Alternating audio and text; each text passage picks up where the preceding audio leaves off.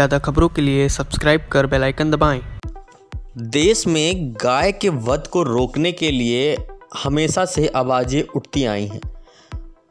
गौ रक्षा के नाम पर गुंडागर्दी ना बर्दाश्त करने की हर राज्य कसम खाती है, लेकिन शायद सब में योगी जैसा सामर्थ्य नहीं है देश के सबसे बड़े राज्य, यानी कि उत्तर प्रदेश के मुख्यमंत्री योगी आदित्यनाथ की कैबिनेट ने आज उत्तर प्रदेश में गौवंश की रक्षा करने और गौवध को रोकने के लिए गौवध निवारण संशोधन अध्यादेश 2020 पर मुहर लगा दी है। अब से अगर कोई भी व्यक्ति गाय के अंगों को काट कर इधर उधर करता है तो उसको एक से सात साल की जेल हो सकती है और एक एक लाख से तीन लाख रुपए तक का जुर्माना भी हो सकता है।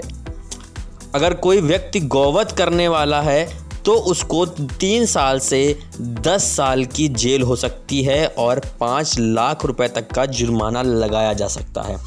ज़ाहिर है कि एक मठ से आया हुआ योगी गाय के बारे में कितना सोचता है और गौवध को रोकने के लिए एक नया अध्यादेश ले आया है। इससे पहले जब उत्तर प्रदेश में दंगे भड़के सी को लेकर तब भी योगी सरकार की कैबिनेट ने ऐसा ही एक संशोधन करके अध्यादेश लेकर आई, जो कि उन लोगों से वसूली का था। ज़ाहिर है कि योगी सरकार कोरोना पर तो कहीं ना कहीं सबसे बड़े देश के प्रदेश में सक्षम है, साथ ही साथ अगर डिसीज़न लेने की बात करें तो योगी से बेहतर कोई भी मुख्यमंत्री अभी तक सामने नहीं आया।